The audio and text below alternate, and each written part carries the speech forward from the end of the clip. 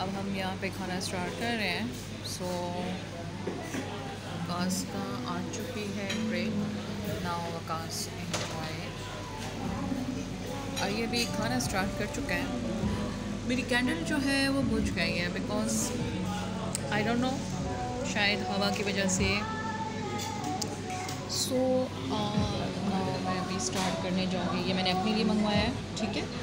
और so I am now the moment बहुत अच्छा है। सो so, सबसे बड़ी बात यहाँ का इन्वायरमेंट बहुत ही peaceful and enjoying moments with my hubby.